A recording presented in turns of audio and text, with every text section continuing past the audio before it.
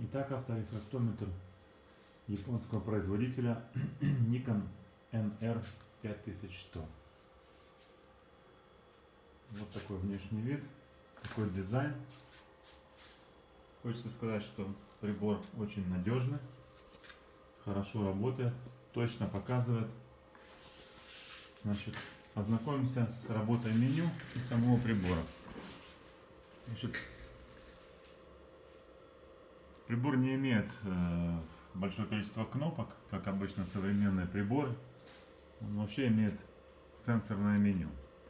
Ознакомимся, как это работает и что это показывает. Значит, начнем слева. Вот, как видите, показывает VD12, да? Чтобы поменять его на другое, нужно просто нажать кнопочку. Вот, сейчас нулевое ВД.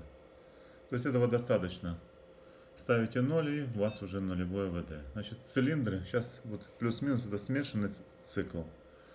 Меняя, просто вот можно минусовой цилиндр поставить, можно плюсовой и, как правило, используется смешанный.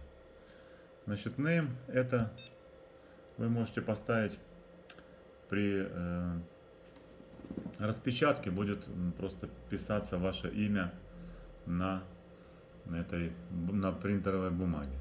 Поэтому здесь вот э, можете начинать любые буквы нажимать и составлять из этого слова. Затем на exit это выход и прибор будет э, принтовать ваше имя на чеке.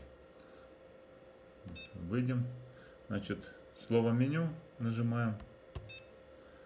Значит, здесь у нас несколько подразделов есть, вот, которыми э, можно пользоваться, можно и нет. Ну, начнем вот с системы. Здесь вы можете менять шаг. Э, опять же, ВД здесь показано.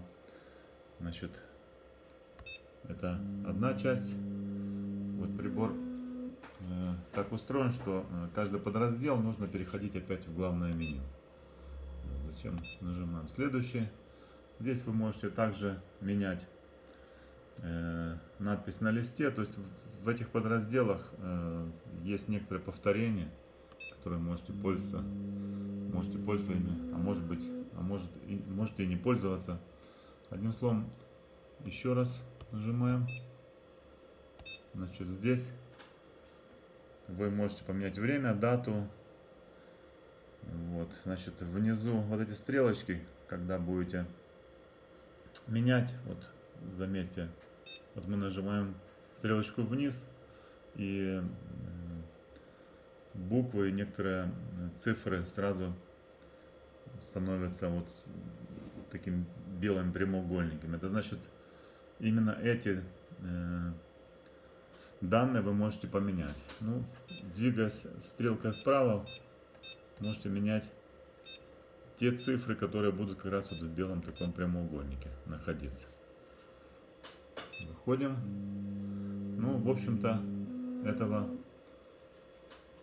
достаточно для... Ага, еще у нас листы, по-моему, было. Ну, здесь э, показаны все измерения, которые вы делали предыдущие. Ну, их нет смысла обсуждать сейчас. Единственное, что вы можете просто э, напринтовать или изменить их каким-то образом. Зачем производитель это сделал, только ему известно. Значит, э, прибор имеет джойстик, значит, который дает возможность поднимать вверх-вниз вот эту верхнюю часть прибора. Вот, оно крутится этой частью. Затем принтер, кнопка принтера. То есть после измерения вы можете нажать на кнопку и получить результат на бумагу. Вот.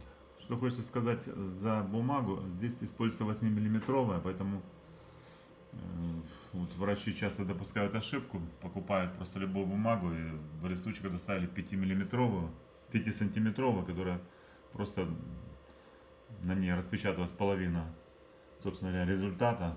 И, собственно говоря, врачи думали, что это проблема вся в приборе, на самом деле просто была ошибка приобретения бумаги. Значит, сейчас она стоит на другой стороне прибора. Сейчас вот увидите, это искусственный глаз. Значит, сейчас будет показано, как работает прибор на искусственном глазе. Значит, вот видите, вверху стрелочки под словом цилиндр. Это значит, вы уже точно навели прибор на объект измерения. Нужно наводить. Значит, условие измерения следующее. Максимальная контрастность объекта на другой стороне э, значит, прибора, да, то есть вот так измерять, вот так вот не следует. Как видите, размытая картинка. Нужно, чтобы было четко и было э, хорошая контрастность максимальная. И вот этот центр был в центре вот этих линий прибора. После чего мы нажимаем просто на кнопочку джойстик, джойстика и получаем измерение вот минус 6,50 сфера. Наш глаз имеет 6,25, 0,25 погрешность. Это допускается даже на новых приборах, где написано это все в инструкции. Значит, э, когда вы сделали первое измерение, во-первых, первое, одна из главных ошибок, которую допускают врачи, это сразу начинают нажимать, еще прибор не обработал эти данные, уже нажимают следующий раз на кнопку джойстика, следующий, и загоняют тем самым прибор в такую работу, которая ну, неприемлема для него. Поэтому хочется отметить, чтобы вы делали какие-то определенные небольшие паузы, даже слушали, как работает прибор. Ну, например, мы нажимаем опять же. Вот, все вы слышали этот звук. Есть дает все приборы, собственно говоря, такой. И нужно дождаться вот этой паузы буквально в секунду-две. Ну, теперь мы нажимаем на кнопку принтер и дожидаемся, когда э, прибор сделает, сделает распечатку наших измерений. Вот было два измерения, стоит дата, когда это было произведено, время, время немножко ошибочно, но поменять будет. Вот.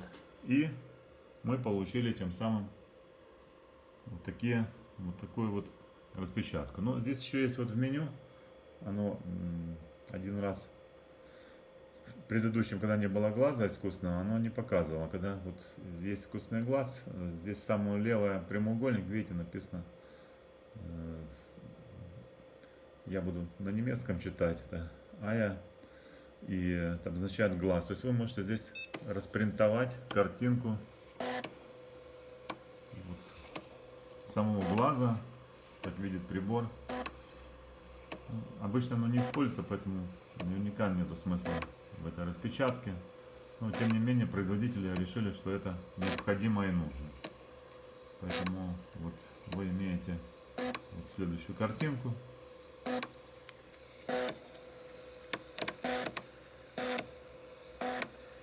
И также прибор повторяет э, те изменения, которые вы сделали предыдущий, то есть, то есть минус 6,50.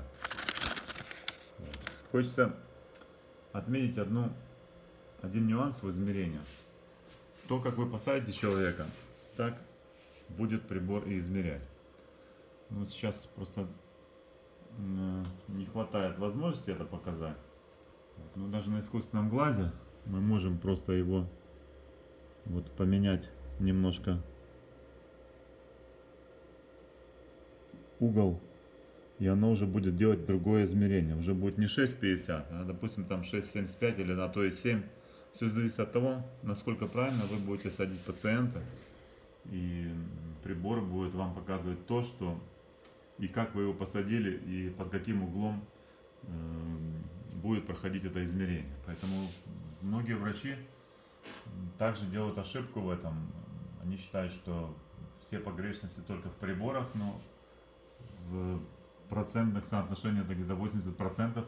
Это просто неправильная посадка э, человека э, напротив измерительной части прибора.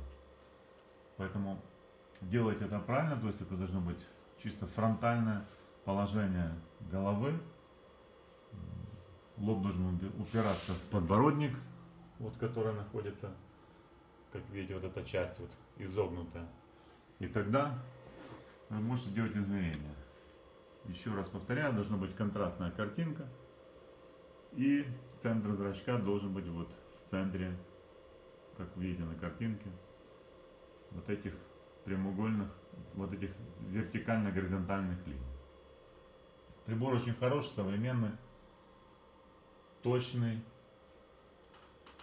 Ну, я не помню случаев, когда бы он ломался там.